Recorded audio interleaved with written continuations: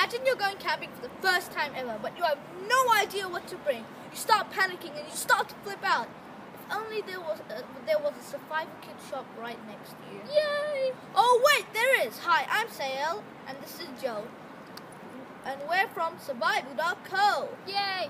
As you can guess, we make survival kits. Cooper, Sael, and me. Different things, such as Cooper likes uh, Cooper likes to ride his scooter.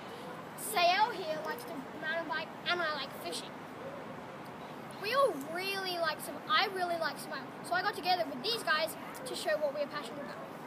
This is our survival kit. When you order one, it will come in a brown paper bag with our logo sticker on it. Our survival kit has many different things. Few things in it are a survival guide, cotton balls,